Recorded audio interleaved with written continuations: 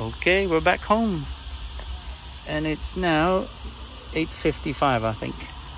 At number 5, Califresno, New and uh, King are inside. But in here, we have the first contestant, second contestant, and third contestant is... is Stella. Oh, Gentle wins! Oh, and you go third. Hi, Adriana. Stella, wave here. Hey, hey, hey. By the way, you two lost. You're both lost. Okay. And there's the beautiful Miss Tiptree and Miss Vistahermosa. Hi, sweetie. Hi, birdie. We're back.